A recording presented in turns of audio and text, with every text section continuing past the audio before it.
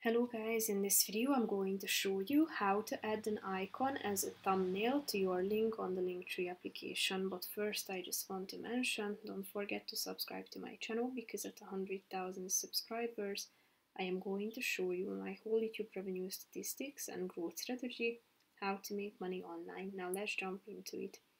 First of all, open the app on your phone or the website on your device and then click on this Linktree icon in the upper left corner of the screen. Then you should select the link that you have already added to your Linktree account and then tap on this uh, thumbnail button below the link. Click on set thumbnail, which is the purple button. Click on choose from tabular icons.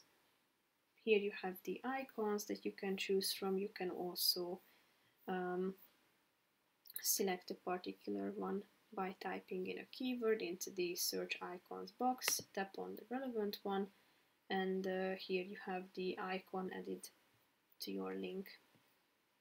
So if you want to change it, click on the change button, and if you would like to get rid of it, click on the remove button so that it will disappear from this section. That's pretty much it for this video, guys. See you in the next one. Bye bye.